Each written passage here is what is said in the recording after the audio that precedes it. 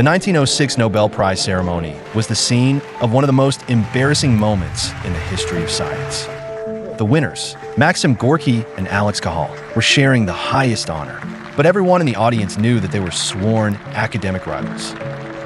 They were honored for the same research, but provided opposing answers to a fundamental question in that field. At the heart of this ongoing debate is the physical form of human thought. What exactly are our brains composed of?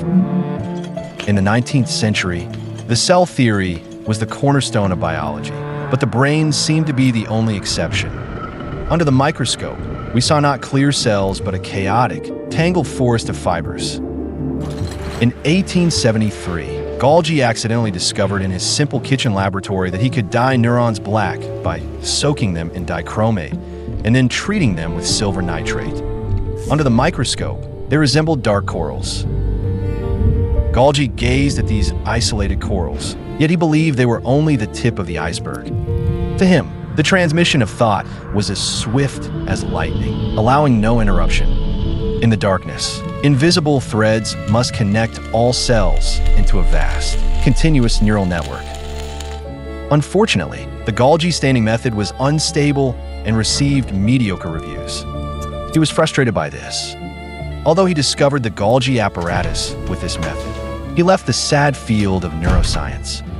Fortunately, 15 years later, another genius picked up this dusty sword again. Cajal, a passionate Spanish artist and scientist from the academic fringe, was reportedly drawn to histology because the research was affordable, requiring only a simple microscope, which perfectly suited his limited income. He improved Golgi's staining method, then locked himself in his lab, sketching everything under the microscope daily, leaving over three, zero, zero, zero hand-drawn brain images whose detail and accuracy rivaled electronic images a century later. During this work, he discovered a crucial detail. There's a tiny gap between neurons. The axon terminal of one neuron is always infinitely close to the dendrite of the next neuron, but never truly fuses. Based on this gap and other indirect evidence, Cajal proposed the neuron theory. The brain is not a network, but a vast community of billions of independent cells. Sparks of thought must cross the gaps between cells, completing relay after relay. Thus, the opening scene occurs. Golgi did not elaborate on his research at the Nobel Prize podium, but instead criticized Cajal, defending his intricate network. Cajal politely countered, suggesting that assuming the nervous system is a continuous network seems simple and convenient. Unfortunately, nature doesn't care about our preference for convenience and uniformity. It inherently favors complexity and diversity. Half a century later, the invention of the electron microscope made the synapse gap clearly visible. Cajal had won, and we finally discovered the atom of thought, the neuron. However, the end of one war is only the beginning of another. Since neurons are independent, how do they communicate with each other? How do the sparks of thought cross the chasm called synapses? A new debate has broken out, and the two sides have been jokingly called the Spark faction and the Soup faction. The Spark school believed nerve signals, like electric sparks, could jump across gaps. They saw the nervous system as biological wires, explaining rapid nerve reactions. This became mainstream. However, the Soup School asked why, if it was just electric current, stimulating different nerves would have opposite effects on the same organ. They speculated that some chemical released at the nerve endings must diffuse like seasoning in a thick soup, telling the next cell what to do. The key piece of evidence in this debate came from a near apocalyptic dream. On Easter Eve 1921, pharmacologist Otto Loewi dreamt a perfect experiment. He woke, scribbled it down, but his handwriting was illegible in the dream forgotten by morning. He fretted all day. Miraculously, the same dream returned the next night. This time, Loewi didn't hesitate and rushed to the lab. He removed two live frog hearts and placed them in containers. He used an electric current to stimulate the vagus nerve of the first heart, slowing its heartbeat. He then siphoned some of the broth into a second, completely separate container. The second heart also slowed down, proving that the nerve endings were indeed releasing some chemical into the broth, transmitting the command to slow down. Loewi had discovered the messenger between neurons, the neurotransmitter. He later thanked himself for not being fully alert in the night. If it had been daytime, he would have abandoned the experiment out of concern for the minuscule concentration of transmitters. He also had to be thankful it was an Easter dream. If it had been a midsummer night, these fragile chemical messengers would have been destroyed by the heat.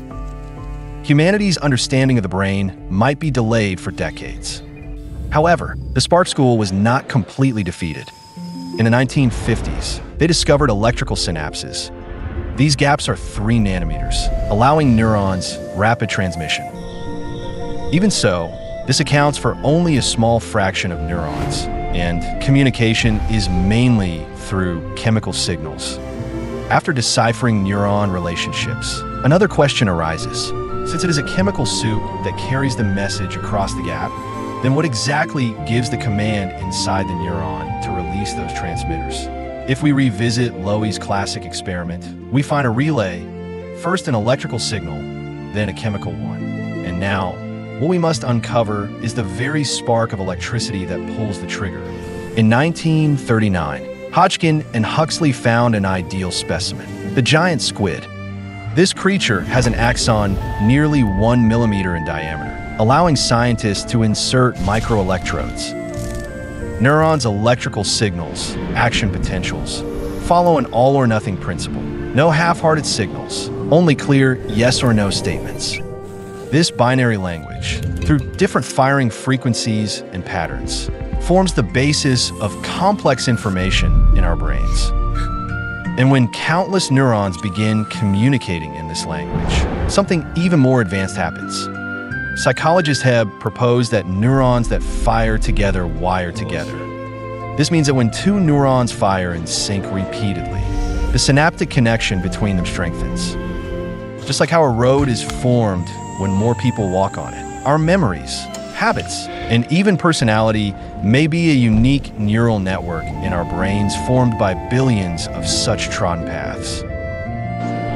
This idea explains the biological basis of intelligence and laid the groundwork for the explosion of artificial intelligence half a century later. The design logic of today's deep learning models, which can recognize images, translate languages, and create works, traces back to Hebb's law. Ultimately, by understanding our brains, we've created a silicon-based bionic brain. Reflecting on this century-long journey, we've pursued the origins of thinking, only to discover that the path mirrors the source itself. In this jungle of accidental connections and false signals, generations of scientists use their paranoia, inspiration, and courage to try and fail in chaos, ultimately finding the path known as Hebb's Law.